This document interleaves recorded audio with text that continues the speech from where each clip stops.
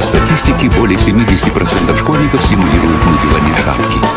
Почти две трети мужчин считают зонтик бесполезным аксессуаром. В среднем каждая вторая женщина выбирает туфли в платью, а не в погоде. К счастью, по утрам мы пьем иммунели с витаминами и лактобактериями. Иммунели. Вкусно нашему иммунитету.